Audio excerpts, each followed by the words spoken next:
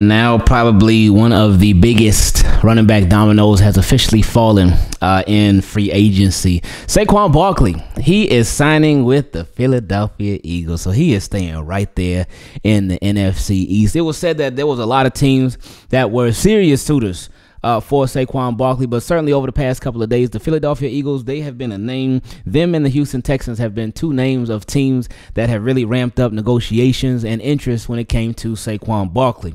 But apparently, there was an article that came out maybe not even an hour ago that said that the Eagles were just willing to offer just a bit more for Saquon Barkley than uh, the Houston Texans were. So we'll see the official numbers in, in a little bit, but regardless of what they are, Saquon Barkley is headed to Philly, and that's gonna be a real nice pickup for them. Like you think about this, Philly with their run game, with their offensive line. Now the offensive line is gonna be a little bit different now. Cause Jason Kelce, he's retiring unless he saw that they signed Saquon Barkley. He's like, you know what?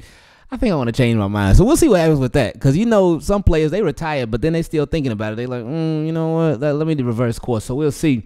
But the offensive line is known to be a really good one, especially when it comes to run blocking. And when you think about Saquon Barkley, how dynamic he was behind a terrible offensive line with the New York Giants.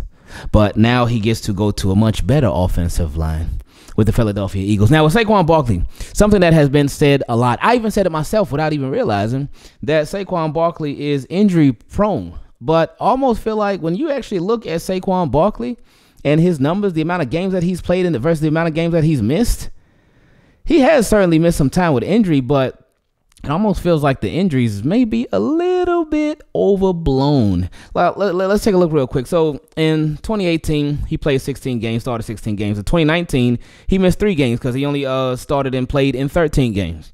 In 2020, he missed 14 games because that's when he only played two games that year. So that was a big injury year for him. Then in 2021, he only missed three games. In 2022, he played in all 16 games. Uh, in 2023, he missed three games because that's when he went to the 17 game schedule. So with Saquon Barkley, um, he has he, he missed, of course, most of that one season in 2020. But beyond besides that, he's only missed like a couple of games each year. So obviously you want him for the long haul. You want him out there every single game. But I feel like when he gets that injury prone label, label, excuse me, uh, it may be a bit overblown. And I guess that's how Philly felt about it since uh, they signing him and, and he's gonna get. I'm sure it's gonna be some big money. Let me just double check to see if any details of this deal came out yet. Nothing yet, nothing yet. But probably by the time you see this video, then the details will certainly have come out. Now, uh, you think about that offense and the potential uh, of that offense. Oh, there we go. It's a three-year, 37 point. Let me see, 37.75 mil. Wow. Oh my goodness got, he got a lot of money. He says so. Thirty-seven point seven five divided by three. That's twelve point fifty-eight per year. So a little over twelve mil per year.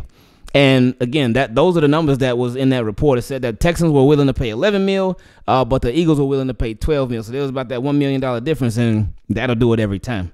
So as a running back, as the person that they're bidding for, especially when it's two teams that are bidding, you're going to go with the highest bidder and you can increase your chances of getting any more even more money by making that highest bidder bid even higher. Because they want to secure it they want to seal the deal they want this thing to become official. So that's apparently what the eagles did. Wow. Um, now you think about philadelphia's offense jalen hurts obviously and hopefully he can have a bounce back year.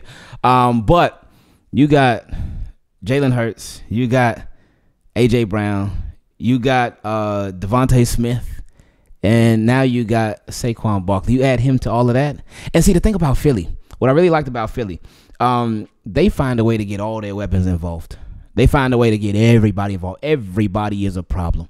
So that makes them that much bigger of a problem for the Cowboys, for the Commanders, even though I mean everybody's a problem for the Commanders, uh, and also for the Giants as well. So this should be fun. This should be fun. I know a lot of other fan bases were hoping that Saquon Barkley will go to their team, but yeah, that's just the way the cookie crumbles sometimes.